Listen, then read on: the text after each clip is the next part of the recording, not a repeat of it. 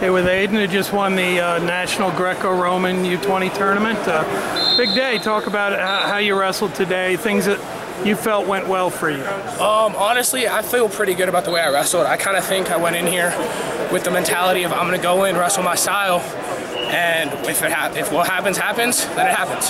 So that's kind of how I came in here. I came in, wrestled my style, and it turned out to work for the best of me today.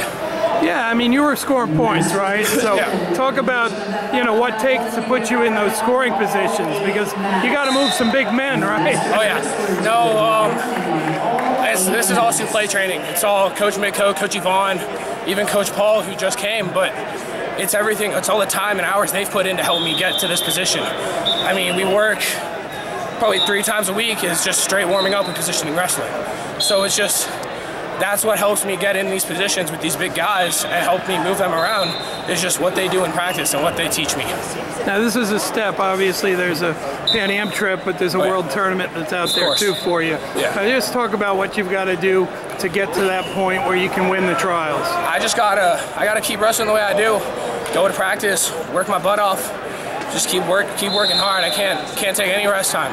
That's kind of how I think of it. I can't rest. I can't I can't slack on any practices. If I want that title, I have to go out and take it, and that's what I want. I want that world team spot. So that's what I'm gonna go out and try and do. Excellent. Appreciate your time, man. Thank you guys. Congratulations. Thank you.